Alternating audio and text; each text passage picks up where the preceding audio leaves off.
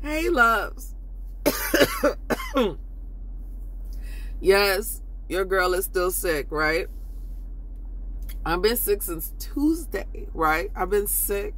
And for whoever attended my wine tasting, no wine on Friday, knows that I've been battling this for a while. And so it kind of messed up what I've been doing. But, anyways, I don't know why it's not getting talked about. And I definitely think that it should be something people should be talking about right now. Because Peep Game, I've been sick since Tuesday. And normally, when I get a strep throat, I'm able to just take a couple pills, drink some lemon, be good in three days, and I'm back to normal, right? That did not happen. So, Saturday night, Saturday, I went out with my son, had his birthday, we turned up, we had a good time. And but I just could not sleep because my throat was in so much pain. And I was like, you know what? This is not normal. Uh, normally, when I get a strep throat, lasts three days, whatever. So, make a long story short, I go in here, right? And the doctor tells me, you know, hey, there's this thing going on right now, you know, that your age group is uh is experiencing. I, I've seen a lot of people in your age group that is ending up with this strep throat symptoms, but you don't have strep throat. And I'm like, how the heck do all this? You do you hear me?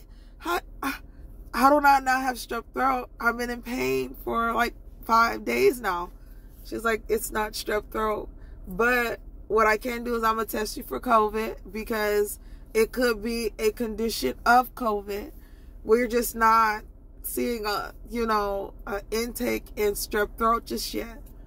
But I know that I'm not the only one experiencing this. So because I have kids and most of the people that watch me have kids and stuff like that, I just want y'all to be aware that there is a virus going on that can send your butt to the urgent care. And if you're not vaccinated, it could be another condition on top of your COVID. So please be careful. I don't think wearing your mask is going to protect you from this sore throat because, truth be told, only people that don't wear my mask around are my kids. So this is not something, unless you plan on wearing your mask around your kids, you most likely is going to end up with the symptom of sore throat, chest pain, and coughing. And the chest pain, because I have asthma, the chest pain didn't bother my asthma. So it's not a, a severe lung condition. So I'm just trying to put y'all up on something just to be aware of. I love you guys, mwah, mwah, and I hope that y'all stay safe in this pandemic.